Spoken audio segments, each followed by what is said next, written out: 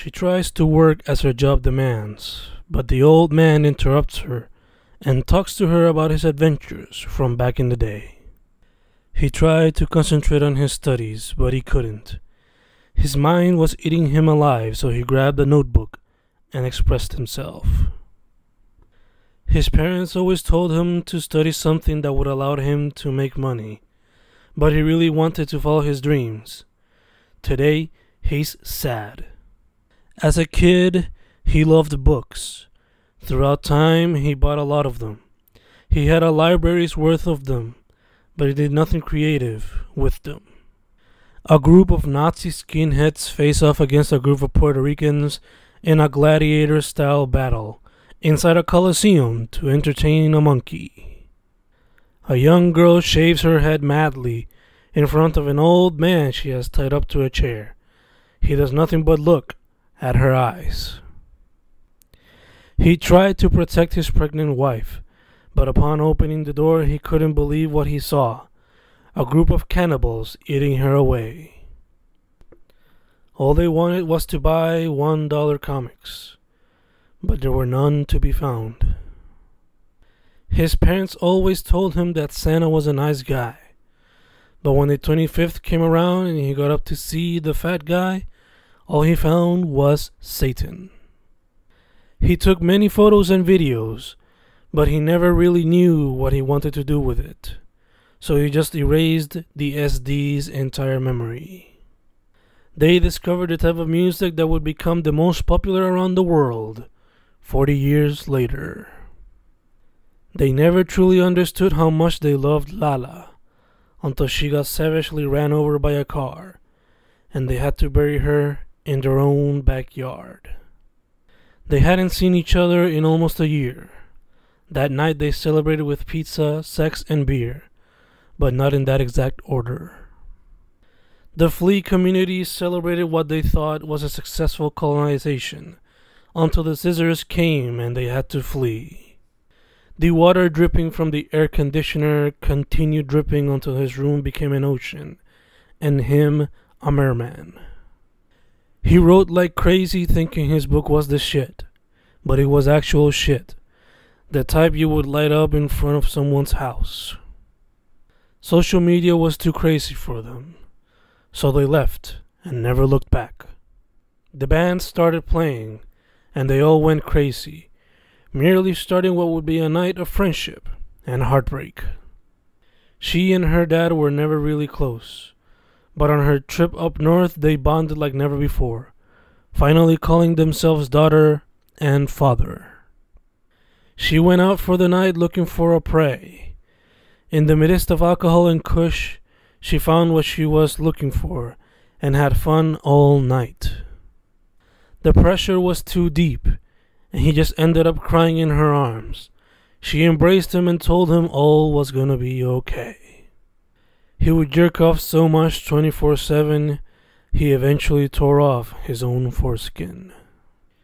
They were the greatest of friends, but social media beef ended their love for one another. Now they don't even say hi to each other. Salimos en la noche. La juventud everywhere, sueltos como gavete entrelazados entre birras, gares, weed, smoke, neon lights y musiquita en cada esquina.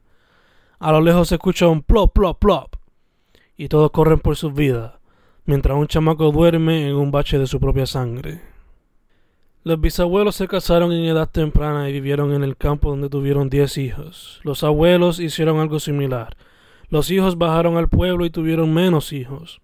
Ahora los nietos tratan de encontrar un futuro en una isla pobre donde la vida se gana día a día. Jaime nunca tuvo un ejemplo paternal a seguir, solo tuvo a su madre, Giselda, a su lado. El día que el cáncer se la llevó, él no sabía qué hacer. Por mucho tiempo no sabía cómo lidiar con esta situación.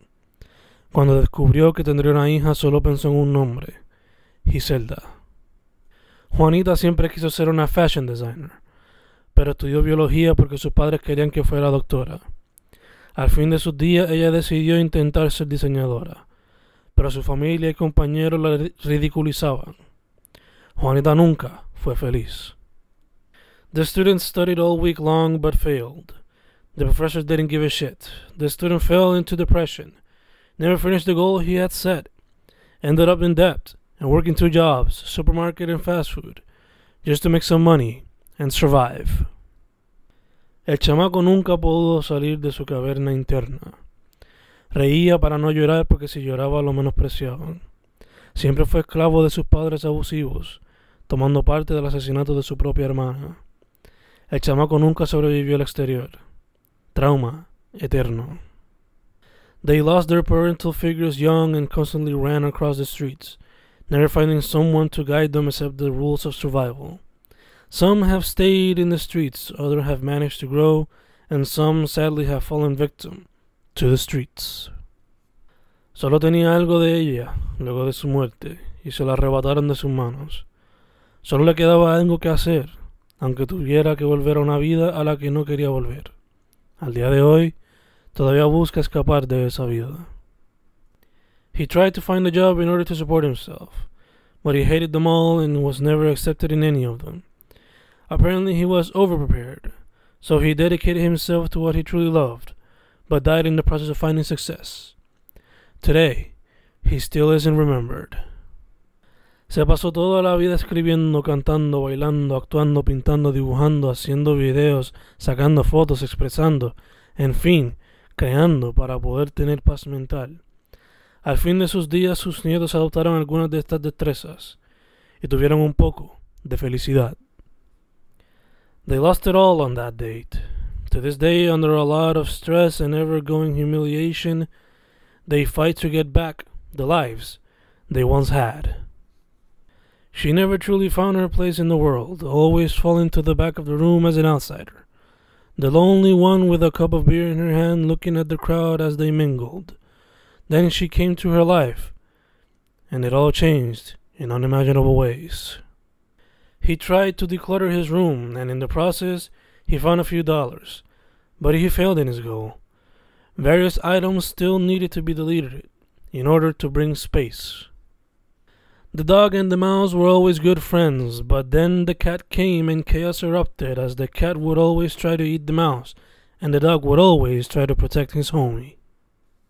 His mother would always abuse him physically and emotionally. Later, as an adult, after committing a series of horrific murders, he would say she was the source. He even went as far as killing her and her neighbor. Now he lays on the ground, being eaten by worms. El día fue como cualquier otro. El taxista recogía gente y los llevaba de destino en destino, pero en este día en particular dos personas pudieron apreciar la vida del caballero. Lo poco que se ganaba era para que él y su madre pudieran comer. María se llevó su hogar. The wings of death were worshipped all across the universe. All beings were loyal to this interdimensional deity. However, people saw it fall at the hands of another titan, one much more acceptable to mankind because they created it, when they tried to be gods themselves. He just sat there doing nothing with his life, always consuming, letting the songs and videos on autoplay. He dedicated all his life to consumptions, but never to production, and now, in his late life, he attempts to create a masterpiece. Will he do it? Only time will tell. He never truly got to be with her a lot. She was only five the other day, aka the last time he saw her. Today she turns 15, aka the first time he sees her in a decade. She doesn't even recognize him. Time flies fast, and he only wishes he could have been there for her a bit more. So many years lost in jail, and in the end, the truth they stated from the start came forward. A través de los años, el sistema le seguía fallando y los dos señores jamás aceptaron las mentiras que le adjudicaban. Un día la verdad salió a la luz e incluso otra persona resultó ser culpable. Ambos señores están libres, uno de la vida y el otro de la mente. He would call himself a scientist, but it was his biggest lie, one which led to multiple people dying in prison, and he never felt guilty about it. Who's the real criminal? He was always looked upon for not having a normal job, but he was always happy, and he died doing what he loved, and nobody could take that away from him. Nobody. It was a little bit of bait, but it was enough for him to bite, and he suffered from the consequences immediately. But that's what happens when you follow your instincts too much. Sometimes you gotta think before you act. He would tell himself afterwards. She was never encouraged to practice her sport because it was too masculine. Later on, she shifted the way said sport was viewed due to her popularity and greatness. Today, she looks back at it, proud of her achievements, then and beyond. The pirates settled and found no use for their treacherous acts no more, but then greed came forth from the empires, and they were filled with energy once again to rebel against the system. Arrested one time, arrested a second, both times considered innocent, but the last time he was sentenced to death and never got the chance to defend himself properly. Sus identidades estaban completas a esos 37 y 39 años, pero luego llegó su hijo y todo cambió por completo, descubriendo así nuevos aspectos de sus personalidades que jamás imaginaban. De ahí en adelante tuvieron una aventura increíble que solo ellos podrían explicar. He wanted to be a kid and have fun, but life at times isn't fair, so he lost his innocence and was forced to become an adult at the mere age of 13. Today, as an adult, he still acts like a little kid at times, short of wondering what would have been. She was never encouraged to do much with her life, but she had big ambitions. There's a reason why today she's not only a mother of two, but also the head volcanologist of a research project going on in volcanic areas of Alaska. He never really knew what he wanted in life, so he just went with the flow of what people wanted him to be. Happiness was never something he actually knew.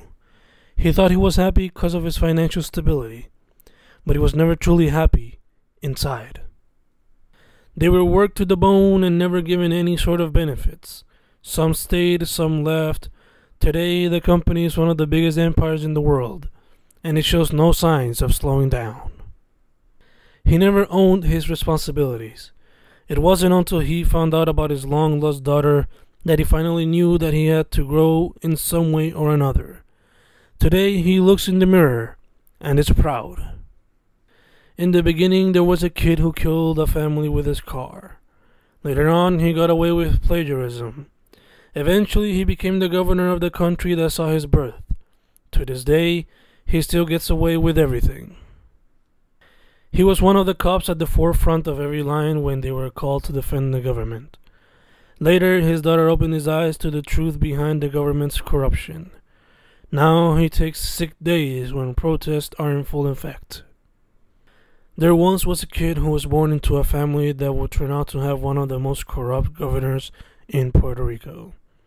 That kid looked up to his dad and in turn became as, if not more corrupt than his father, and he would not resign even when the people didn't want him. El país se une y el mundo también, pero el gobe no se quita por su hambre de poder. El pueblo grita y grita, pero él se queda en su silla sin el brazo torcer. A la vieja edad el tiempo le llegó, y de todo el mal se arrepintió. Everybody across the island failed to get a good night's sleep when they realized their revolution might not go in vain, and there existed hope of their governor actually resigning to his position. All she wanted was for her favorite artist to drop her album, but she couldn't do the samples. So her GF did the next best thing. She made a playlist with the samples mixed with songs from the artist's discog and played it to her as a surprise, and they danced all the way to El Jangueo. She had the potential to be one of the greatest rock stars the world had ever seen, but doors were closed to her. However, she didn't let that stop her. She made her own path and proved everybody who stood in her way wrong. Today, she is an icon that many look up to. When they went inside their workplace, they just saw a future with no progress but they just stayed there and saved the few dollars they could in order to invest in their own future endeavors. He was meant to be the chosen one, but he disappointed his fans and they left him. Now he survives out of the little money he receives monthly and dedicates himself to a simple life with his family. waiting for inspiration to strike once more. She was always put to the side, never accepted. All she wanted was her father's love, but he never showed it. In his last days, he tried his best to be the best parent he could be, but it was too late. She had learned to live on her own, without her father's love. He thought he had it all figured. His future never looked brighter. He had a job, a loving girlfriend, a home they shared. It was all good, except for one thing. He never really pursued his dream. There was always that thought in his mind, and eventually depression governed him. She walked and walked and walked and walked all across Ponce, but eventually melted and became one with the pavement, all due to the summer heat. He spent his entire birthday getting tattooed. Afterwards, he ate some of his mom's homemade food. It was a great 28th. He lost many years making people happy and proud, never doing what he truly wanted. To this day, he still does it. All because he never learned to say no. They had fought previously, now they sat in the airplane and she was still pissed. So she called him off right on the spot. He tried to stay put and keep a poker face, but that later ended with him getting a hit in the face. She later grabbed the Gucci bag and left the plane.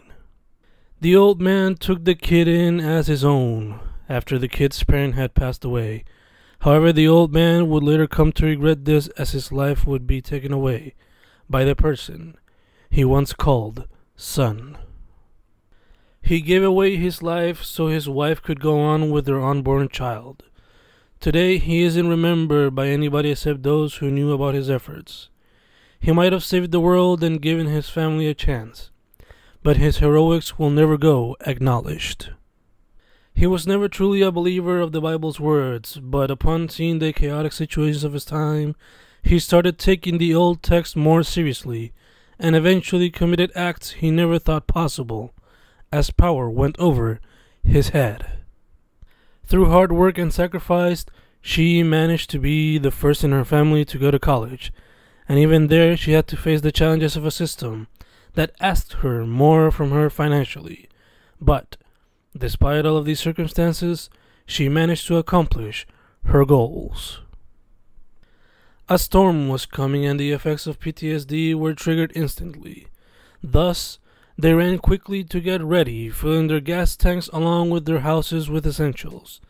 Then they waited for nature's force to come. Fui a recortarme y pedí lo regular, acero por los lados y atrás. Luego noté mi error. Había olvidado que eso lo puedo pedir cuando estoy más pelú. Me vi en el espejo y me parecía Anuel AA. Rápido vi los chistes. Fenuel WF junto a las carcajadas. Pedí el acero en toda la cabeza. She was raised in a difficult home that scarred her. Eventually, though she tried to be the best mom possible, she also scarred her kids. Ultimately, she lost their custody battle with her ex husband. Today she sits in a cold home, counting the days until she can't see them again. They met each other dancing, like that Frankie Ruiz song, and still today, 11 years later, they continue to be together. Sure, it hasn't been easy, but through work and learning, they've grown and become better people, better lovers. The toxicity they shared across social media would always gain negative attention. Then they would question why nobody in their field would ever want to collaborate with them. It was fear that led him down this path. He left his girlfriend behind along with her newborn. He tried to start a new life, but he fell with the wrong crowd. It was all because of fear fear of losing freedom. Now, in his last seconds, there's no one to save him, only fear. I just sat there. I believe it was fifth grade Spanish class, or something like that. Suddenly, my teacher answered an urgent phone call. She was hysterical. We didn't know what was going on, but later that day, we all knew. It was an event that would mark all generations. Every year, he would show students the newspaper. Remember this day. It will change you and the generations that come after. He would say, showing the paper with a picture of the towers on fire. Today, fear is at an all time high. This event surely played a part in it. The only thing he did was do his job, but it was too controversial for the people looking from outside. So he was shunned to the outskirts of the world, to a deserted place where only a pond, a tree, and a bed were provided for him. All he wanted was a fun weekend with his girlfriend and her friends, but it ended in tragedy. Everyone but him was possessed by demonic entities from other dimensions, and he had to kill them all, losing a hand himself. He still remembers that weekend, but nobody believes his story. They let him drown in the lake and never even noticed until years later when his mom snapped and came to the lake to take revenge on the descendants of those who let her child drown. It was a party and the drunk wizards just wanted something to eat to bring down the munchies. So they ordered a pizza, but they didn't know their gibberish conversation on the phone would anger their delivery guy. Later that night, they had to fend off demonic flying pizza slices. They were known as the band that took down neo Nazis, and their fierce power was put to the test one more night where an army of neo Nazis, accompanied by Nazis brought back from the dead, were all taken down once again by the duo's ferocious bass and drum combination. They wanted to get ahead in life, even if it meant breaking the law. It all went well for a while until a man died in their hands. Nothing was the same after that. Trust went out the door. The decline came as fast as the rise. She wanted to sell it all and move to the city, but he refused to change. Sin fueled this man, so he would do whatever he needed to gain what he wanted, even if it meant shifting his young son's point of view. Eventually, she would end up in a ditch, with bugs eating her up. All they wanted to do was take a nice vacation in the nearest rural area to them, and all was going well until they pissed off a local family. Two of them were raped, two of them wounded, one of them dead. Life would never be the same. After their son's death, they wanted to do whatever it took to forget such a tragic moment in their life. He went to the psychologist and grieved as best as he could. She joined an extremist group that believed in human sacrifice. An eventful night would join them once again. He wanted to prove his father that he could be responsible, but accepting a sketchy offer for the family business would lead to their downfall. They didn't talk for years after that, but today all has been forgiven, and their bond grows stronger by the minute. Her gambling addiction led her to the darkest and lowest moments of her life, but with a little help from her sister and her boyfriend, she managed to get out of said situation and slowly had a more stable life. The kid wanted to make his grandfather proud and become the best basketball player the world would ever see. He overcame every obstacle in his way, from his childhood rivals to intergalactic ones he would never imagine. He became an icon to the entire world. She never imagined a card game could save the world from the apocalypse, but upon defeating the four horsemen and their demons in a game of briscas, she became a believer of the many ways the world could be saved. They became their generation's Bonnie and Clyde, and it was all good for a while, but eventually a wound to the neck and the night under a blizzard would end their run, finishing up as food for the rats inside an abandoned farm. She was just another lost millennial looking to live off the profession she studied for but the little amount of opportunities and large amount of debt would drive her to the darkest corner in her life. Eventually, things looked a bit up, but it still wasn't ideal. He was once a promising artist delivering work that anybody could be proud of, but spending 10 years on a new ambitious project led him to a madness he had never faced before. His wife helped him get out of said madness, and the project was left in development hell. She stood there recording her son as he fought a rival from across the street. Eventually, the rival took out his knife and stabbed her son. She just stood there recording and never took the necessary action to help her son. Their humor kept them happy, even in the most difficult of times when they survived off hot dogs and macaroni and cheese. Fifteen years later, their economic situation is better. They're still happily married and have a child who has inherited their sense of humor. His father abandoned them when he was five. Thus, his mother worked 48 hours a week to give the best she could for her son. Later, he achieved his own goals and was forever thankful to her. When her benefits were taken away, he helped her as best as he could until her last breaths. He was often called names by hate fueled ignorance, but one day his best friend stood up against those ignorance. Did he draw blood? Of course he did. But his best friend now finally grew the bravery to stand against any oppressor. It was a dance party, so they never stopped moving and shaking their bodies even when demonic entities came from the darkest depths of hell. They beat said demons in fantastic dance battles that would make the dance gods proud. He sat there all of his days writing, producing, and creating universes where many would lose themselves daily. Nobody ever knew who he was. He never put his name up front. He let the works speak for themselves. All of their days were filled with lots of outside fun until that intergalactic entity came into their lives. Then their lives turned into days of fear. Eventually, they came together and fought said entity, but there was no guarantee of victory. She tried to stop him from reading the book, but she couldn't. Frogs started falling from the sky, and fire started coming from the lands. She had briefly failed those she had sworn to protect, but then grew even more determination to save the world. The roach survived through many forms of chaos, both man made and from nature. It later found a home in a 40 year old couple's home until they passed away, and many others came and passed. The roach lived eternally, and it saw many of man's mistakes. They had planned to have a date night, but he forgot and spent the night watching movies with their kids. At first, she was mad at him, but upon reflection, she loved seeing him with their girls having fun. Later that night, when their girls were asleep, they made passionate love. They made their own business and money came in frequently. It came fast and fell fast, but they never invested in sustainable solutions that would help them across their lives. He walked across foreign streets learning about all forms of culture and having fun at the same time. At night, he went to a nightclub and accepted an invitation to the backside of it. There, he saw things he never would have imagined creatures and freaks of the night. Years of war eventually led humans to form intergalactic colonies across space. Their sins created chaos and destruction. Now, in space, they continue killing each other and any people who come across them. The wildcat roamed around all over town and eventually she came to a big suburban house.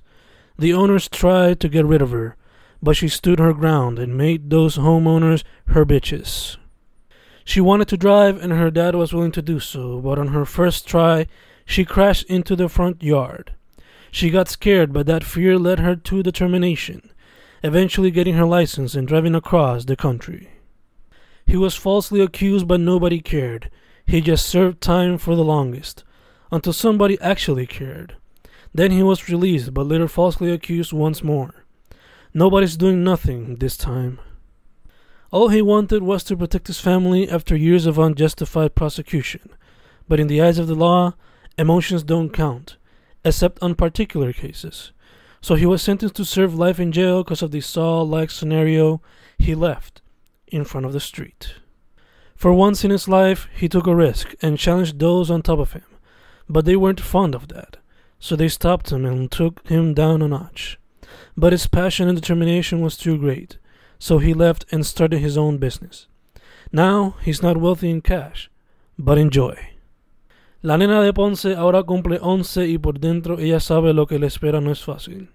Los chamacos de su era estarán tirando maíz y ella no sabrá qué responder, porque aún se le hace difícil comunicar que no es hetero y que expresar su amor certero no será fácil. There we were, hanging out, drinking coffee, catching up, and laughing. It was a really nice time with a dear friend, but minutes later I found out it was all in a dream. That's the cruelty of sleep. He was already dying from cancer, so he asked his best friend to take care of him once he had passed. His friend agreed to help, but to say he was afraid would be an understatement.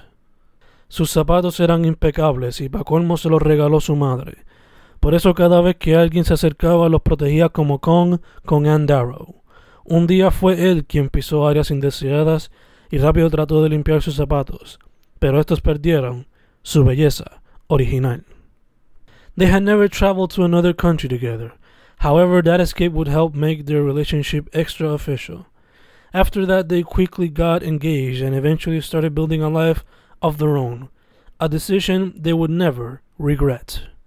He was always afraid to get out of his comfort zone, but it wasn't until she came into his life that he truly spread his wings. He was cursed by his addiction, but it was that addiction that kept him going. It was a double edged sword that he couldn't keep away. She would travel across the world, living off the inheritance left to her by her father. Seeing him suffer in those last days after so much work to keep her and her siblings going was a wake up call she couldn't ignore.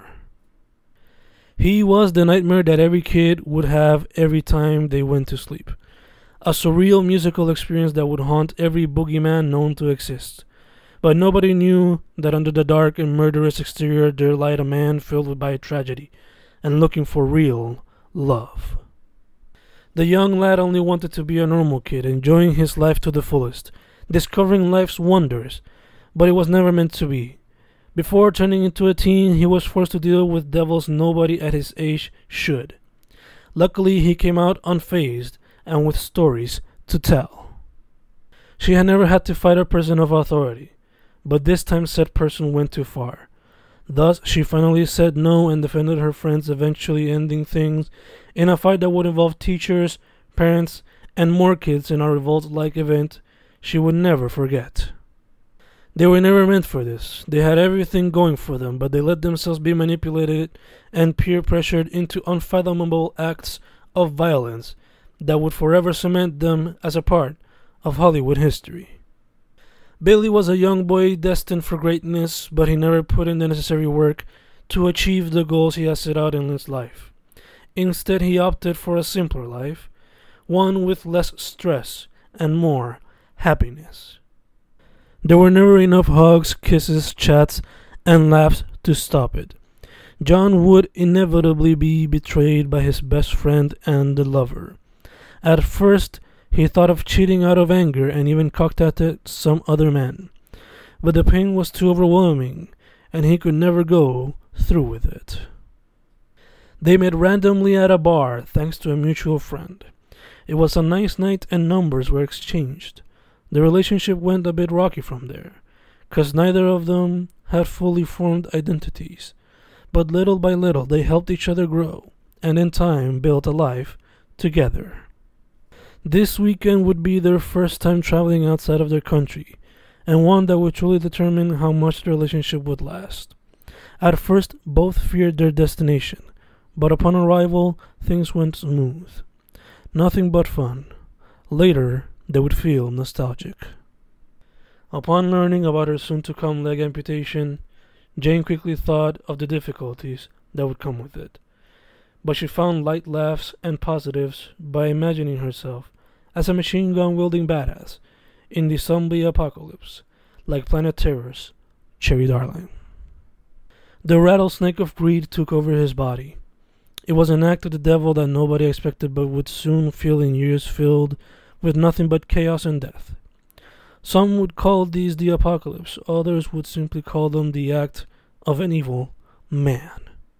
El sueño la quería matar, pero su determinación la mantenía despierta. Una letra más, una palabra más, una oración más, otro párrafo más, y poco a poco completaba su próximo trabajo literario, y una meta nueva, cumplida. School was over, Now it was their time to become adults in a time where one truly becomes an adult when you find a job to sustain yourself with because you're forced to live with your parents due to the huge debt you'll end up with and the very little job opportunities. Welcome to his nightmare, filled with surrealistic monsters and ghouls and psychedelic Harley driving demons that frequent strip clubs where electronic and trap music come together. This devilish nightmare of his one cannot simply put into 280 characters, but this might suffice a bit. This party of theirs would serve as a celebration of all of their achievements. Some might simply be birthdays. But the sole purpose of said parties was to escape reality, be it through drinks, chats, laughs, dances, and even board games. Escape was the goal, and they would succeed. He rode his bike with passion every single day, hours of grinding and practicing said passion. He eventually met some of his heroes and now he continues to ride while managing his own business inside the industries he's always loved.